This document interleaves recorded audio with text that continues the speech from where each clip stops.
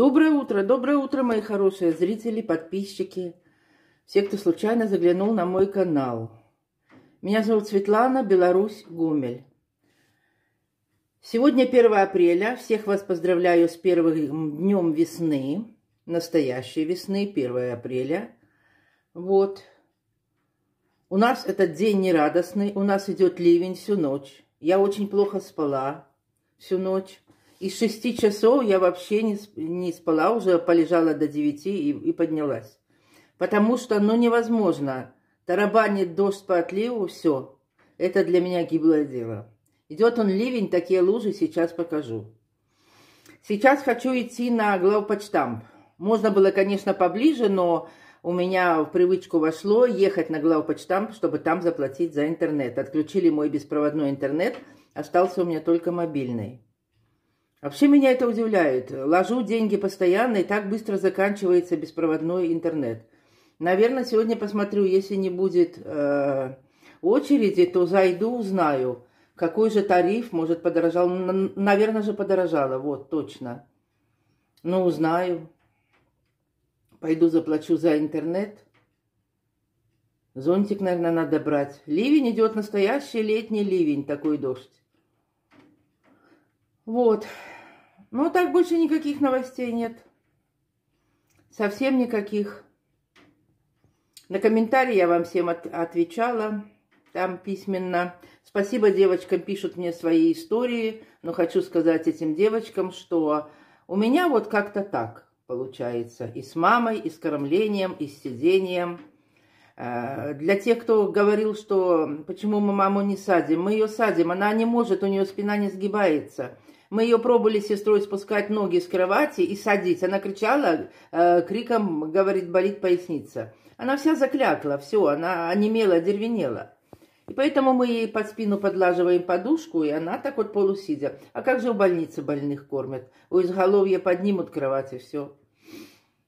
Вот. Так что спасибо вам большое, что вы пишете свои истории. Конечно, девочки, ваши истории, вот последняя написала мне, не помню кто, очень дружные люди, у них две сестры и брат, они друг другу помогают, какая-то согласованность. У нас сестры согласованности нет.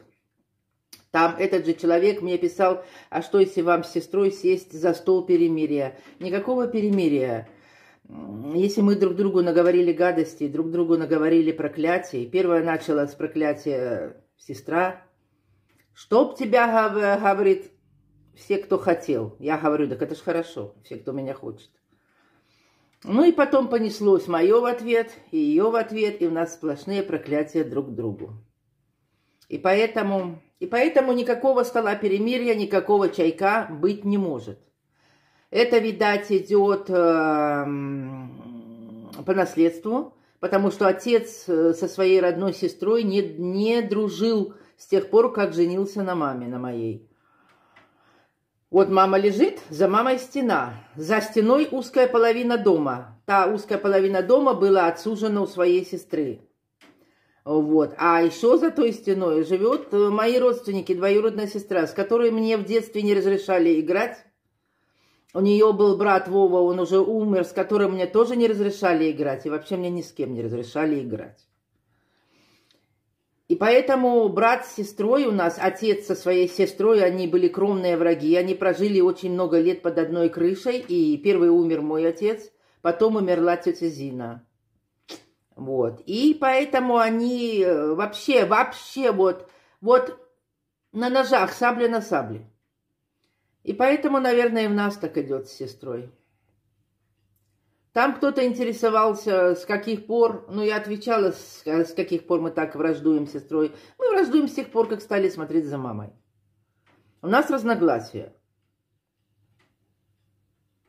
И все. Я не хочу сказать, что я белая, пушистая, такая уже хорошая, такая правильная. Нет, я тоже неправильная. Я могу сделать из мухи слона, я истеричка, я нервная, я вот. Но у нее есть тоже недостатки. Но я вам про свои недостатки сказала. Так что, девочки, большое вам спасибо, что вы пишете. Ни в одной у меня такая история. У многих такие истории. Там еще одна мне женщина пишет, что с мужем не было жизни всю, всю жизнь, а, а сейчас она за ним ухаживает, меняет памперсы, кормит с ложечки. Спрашивает у меня, как вам моя ситуация. Я говорю, мы с вами в одной упряжке, что у вас, что у меня. Только если это ваш первый муж, от которого де, де, дети, как я называю, муж с пеленок, то тогда стоит его см смотреть, опустив эти обиды. Но если это второй муж, приходящий, так я бы его сдала к черту. Честное слово. Это если еще живешь с человеком с 18 лет или с 20, и родил от него детей, и еще как-то его можно. А если этот пришел второй или третий брак, он туда, на соцобслуживание. Девочки, все, рука млеет, держу вас на э, ручке этого самого окна. Пойду на почту, поговорила с вами немножко, вам показалось. Главное вам показаться, что все в порядке, все, что все, мир на земле. У нас мир на земле, так вообще все страшно. Посмотришь в интернете, люди, те, которых еще есть связь, они что-то снимают. Да. Ладненько, все, мои хорошие. Вот такие у нас лужи. И вот так по лужам, смотрите, идет дождь. Это ливень, это настоящий летний ливень. И Лени Голубка сегодня нету. И белье сегодня никто не стирает, не сушит, веревки висят пустые. Вот. Так что никого нету, ни бомжей, ни студентов никто не курит. Ну, правильно, такой вон дождь идет по лужам.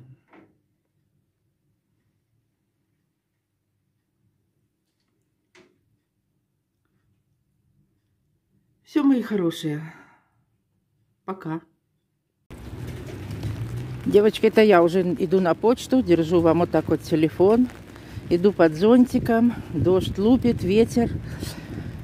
А, короче, хочу вам, хочу вам ответить еще на один вопрос. Там, ну не вопрос, а типа как шутки.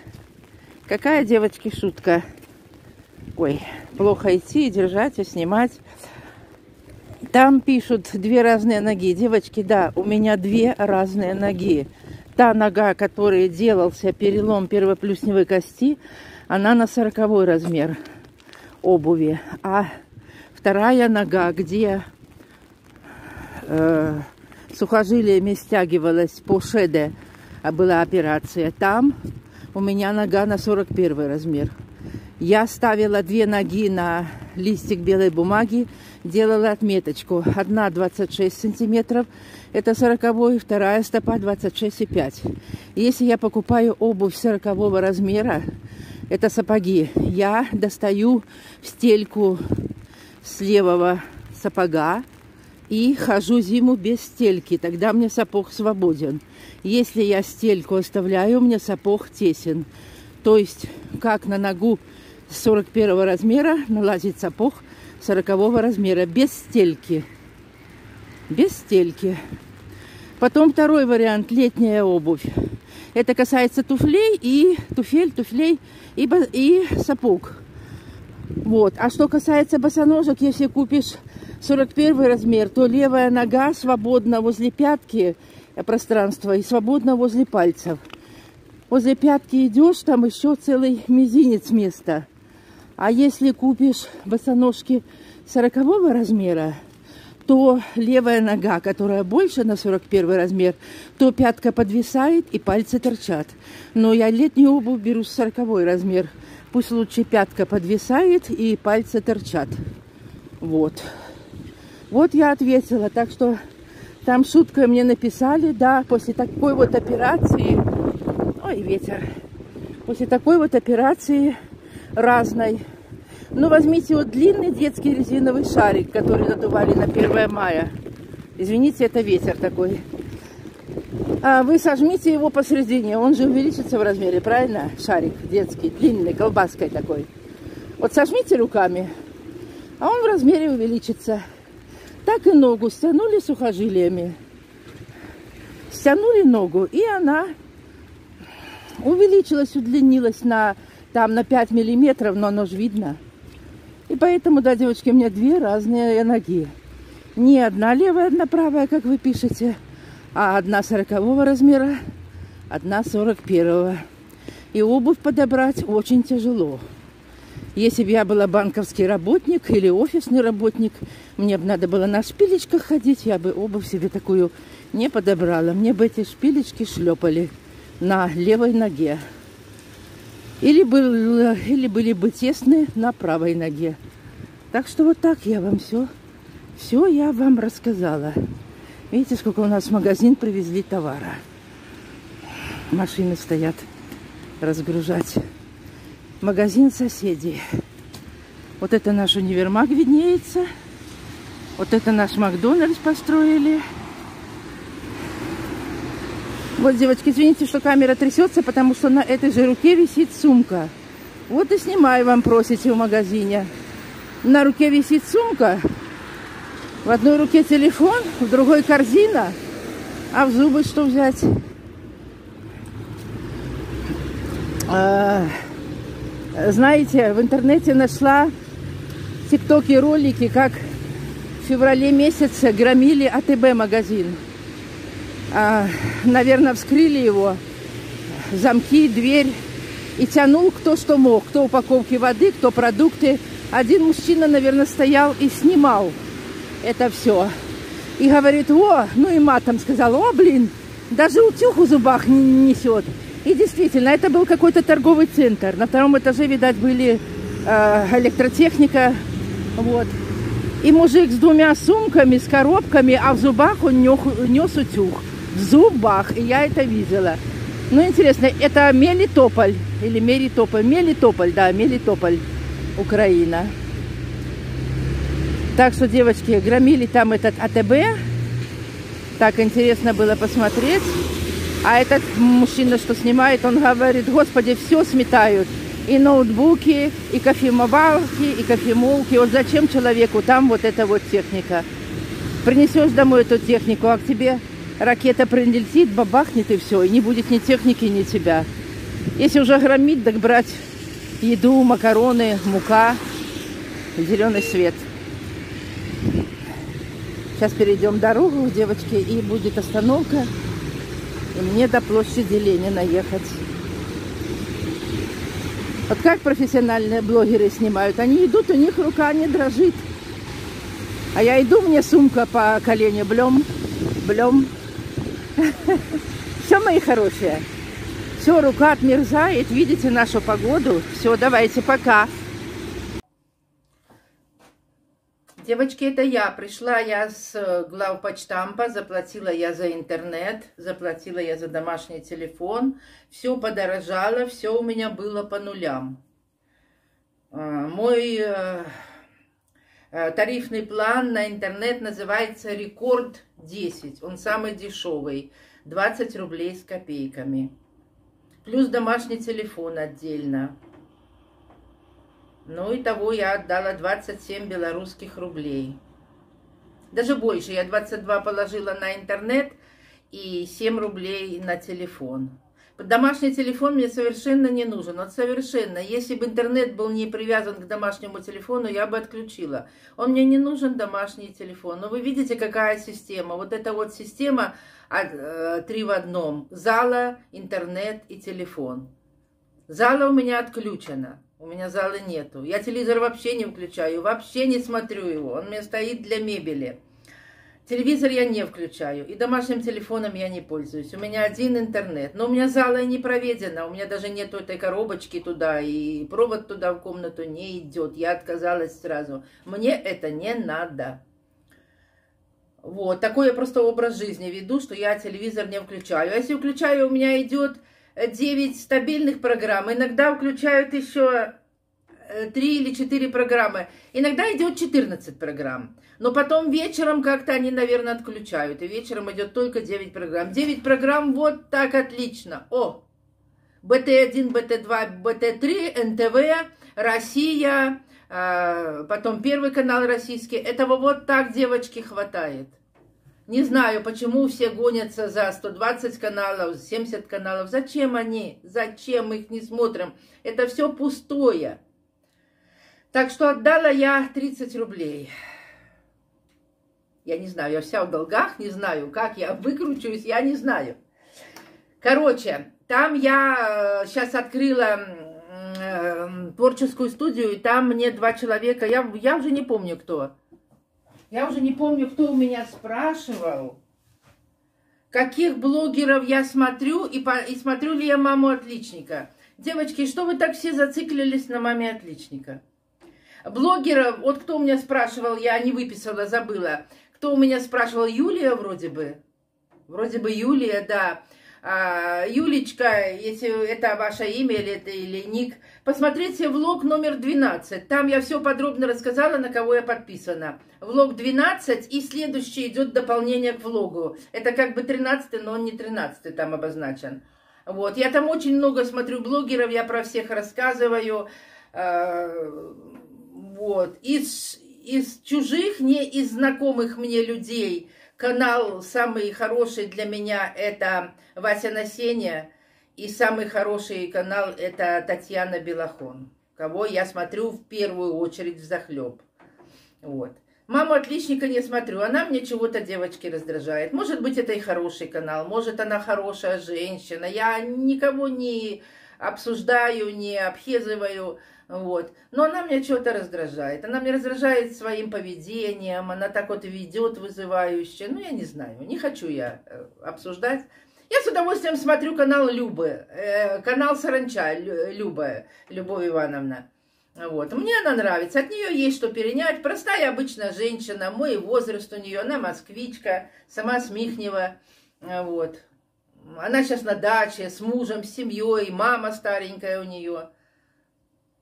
Я от нее больше что могу перенять. Вот она показывает тоже, как готовить там дачу. Она в основном дачу, огород показывает, как травку косят, как розы, гортензии. Все это в нее вот такой вот-вот. Но я уже жду, когда она переедет э, в московскую свою квартиру. Мне что-то так надоела эта дача ее. Ну, приятная женщина. А мама отличника, ну что от нее можно перенять, девочки? Не знаю. Не знаю. Так что э, Юлия, там вроде ник такой, Юлия Влог 12. Кого я смотрю? Каких блогеров? А, потом Татьяна Дем, Демидова тоже рассказала про знакомую, про ноги, про косточку, про спицы. Да, девочки, если вот это... Вот, понимаете, это мое упущение, я повторяю еще раз. Если бы мне все это объяснили, я бы сказала, нет, мне просто спилите косточки и все, срубите их, счешите, как вы там делаете, и все. Они ставят э, во второй, третий, четвертый пальчик спицы, потому что пальчики вот так вот, они подогнуты, и мы ногтями ходим. А, а вот здесь вот натираем вот эти вот фаланги. И поэтому они ставят спицы в, ног, в ноготь туда, в фалангу. И эта спица торчит, я вам рассказывала, на второй ноге она у меня заросла, мне надрезы делали, чтобы эти спицы достать. И потом они все равно покрутились, эти пальцы. Они все равно как смотрели вниз, так и смотрят. И когда начинаешь ногти обрезать, ногти-то растут, а при ходьбе они упираются вот, вот в подошву, и они все равно толстые, их не обрезать, не срезать, все. Поэтому это уже все старческое. Но я повторюсь, что еще вчера говорила, если мне придется еще раз Э, если у меня будут вот такие вот шишки на ногах, вот такие вот, и будет вот так вот палец на палец лезть, вот так вот мне на ноге, я пойду еще раз. Если, конечно, у меня на то время не будет сахарного диабета, и по моему возрасту возьмутся мне. Я пойду, но я пойду только пилить косточки. Все. Палец на палец лезет, а лезет от этого есть спасение. Вот эти вот пампушечки купить силиконовые и носить. Все. И не будет палец на палец лезть. Э, спицы после операции болезненно, девочки. Ой, болезненно, не болезненно. С ними ты же на костылях ходишь, ты же не наступаешь на ногу. Ну, дай-ка это я делала в 2010 году, мне, мне было 50 лет, а сейчас мне 62, в 22 год. Разница есть? Поносить свою задницу на костылях в 50 лет и поносить свою задницу на костылях в 62 года. Вот. И поэтому, если просто спилить косточки, то можно обойтись без костылей. Они такие лангеточки ставят на подъеме, я же сказала, вот пятка, и вы идете как уточка вот так вот на пятках, вот пятка. И вы вот так вот цоп-цоп-цоп-цоп только на пятках ходите по коридору в туалет. Вот. Ну, про ноги вроде бы все, девочки. Кто там, я вот шла по дороге, рассказывала, еще раз повторюсь, две ноги у меня разные, потому что на двух ногах была разная технология суживания ноги. Вот возьмите резиновый шарик, надуйте длинной колбаской и посреди пережмите его рукой. Он в длину будет раздаваться, воздух. Так и это. Мне передавили моими сухожилиями пальцы, поскручивали, и нога увеличилась. Никогда у меня не было, чтобы одна нога была одного размера, вторая второго размера. С, с обувью я сейчас, девочки, мучаюсь. Э, с размером обуви. Я же вам рассказываю. Если летом еще так сяк, пятка подвисает на 41-м размере 40-й, ладно. Идешь как-то, кто, кто на твои ноги смотрит, пятка подвисает. Но насчет сапог и туфлей или туфель, это проблема. Если покупаешь сапоги 40 размер, то на 41-м убираешь у стелечку и ходишь без стелечки. Ну вот, девочки, каждый как-то приспосабливается человек к жизни, к обуви. Ну такая у меня проблема. В нормальном стоячем состоянии у меня пальчики ровно, но если ляжешь, ногу выровняешь, это ужас. Прорехи между пальцами.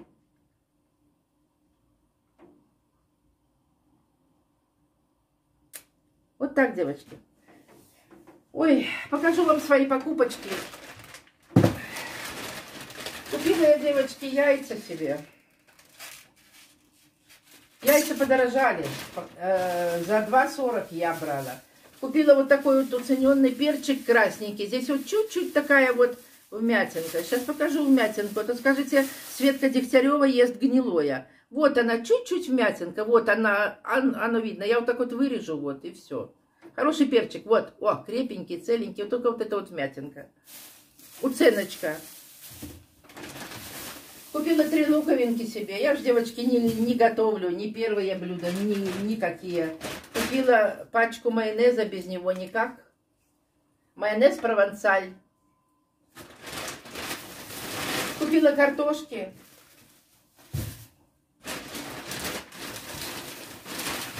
Ой. Купила вот такой вот кусочек мяска. Здесь вот, правда, косточка вот. Ну и вот здесь вот 4 ребрышка. Ну вот такой вот купила. Кстати, я шкурку от сала не выбрасываю никогда. Я ее, девочки, ем. Может, кто меня и осуждает. Я всегда... Значит так, если мне ее надо срезать, я ее срезаю и ложу в морозильник. Когда перед пенсией, я скажу грубо, жрать нечего, ты берешь с этой шкурки и варишь суп. Она в супу вот такая вот набухает, мягкая, вкусная, и навар картошечки, морковочки, какой крупки кинешь туда, или вермишельки, такой супец со шкурки, м-м. Так что я шкурку, девочки, от сала не выбрасываю, от мяса, от сала. Все. Вот такая я, вот так вот я веду себя, живу, вот так вот я. Вот, ладненько, попью, наверное, чайку. Еще рано, половина первого. Загружу вам, может, это видео коротенько, а то вы уже устали по 40 минут смотреть меня, девочки. Что-то хотела еще вам сказать. Ну, на, коммен... на комментарии я вам отвечаю. Все, девочки, давайте мы про ноги эту тему закроем. Вот. Я просто хочу сказать, что если кто вот мой, мой, мой возраст, ходите в ортопедический центр и купите вот эти вот силиконовые прокладочки, чтобы пальчик на пальчик не лез, и носите их. Оно очень удобно. Ну, девочки молоденькие не будут носить так, в такое. Нам что, на палец нацепил и иди. Тем более в это время уже они делают, видите, с таким скреплением, что одевается на соседний пальчик. Это раньше просто была такая катушечка, засовываешь ее, она падает, теряешь ее, это все деньги. Но они недорого стоят, я не помню сколько, но недорого. Все, на этом все, мои хорошие.